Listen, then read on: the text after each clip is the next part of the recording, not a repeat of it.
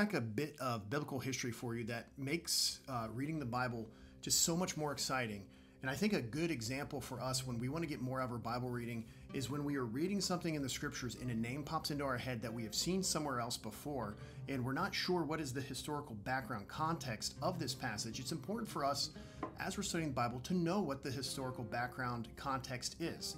Because I think what often happens is we segment off, well, these are Bible stories, and then there's history.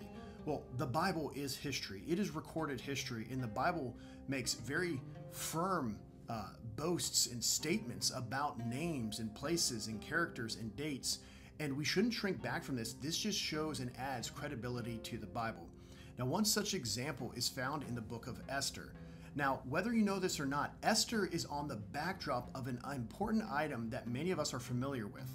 See, King Darius the Great was the first Persian ruler to invade Greece, and in Greece he was defeated at the Battle of Marathon. He comes back, Xerxes the First takes over, and that name should sound familiar. Xerxes the First is the one that was depicted in the movie 300, where Xerxes comes with all of his troops. He comes up to the hot gates at the Battle of Thermopylae.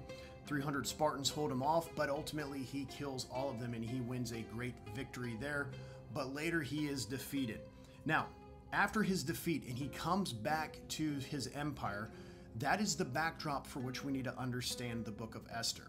Xerxes was just defeated by the Greeks. He's coming back to his hometown and he wishes to hold a banquet, and his queen denies him to come out and be uh, put on display to show her beauty.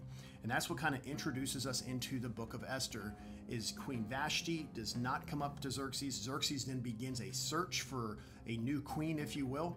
And then God providentially brings Esther into this category for him, where ultimately she is able to stand before the king boldly because God gives her access and placement to stop Haman in his extermination and plan of eradicating the Jews. Now, think about that.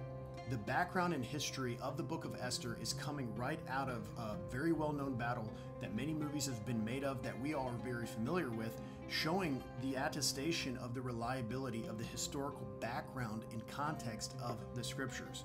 Now, another interesting fact is, too, is after Darius I, there's only three more leaders if you enjoy this type of history until we see Alexander the Great defeat Darius III, in which Alexander the Great comes down, he captures all over the Persian Empire and defeats them. Uh, I think this is exciting for us because so often we read the Bible and we make these segments in our head where, oh, well, that doesn't apply here. But I want to encourage you as you're reading your Bible, look up and see what, what was happening historically outside of the children of Israel that gives you the cultural context to truly the pressure that the children of Israel were under and what were the other players on going at that time and the other elements that, that the Jewish Israelites were having to fight. Uh, it's very interesting, it's very exciting, and I hope this excites you just as much as it excites me on the background context leading us up into the book of Esther. Hopefully that excites you. Let me know if you like this. Drop a comment in if there's another passage you would like me to give you historical background on. Catch you guys next time.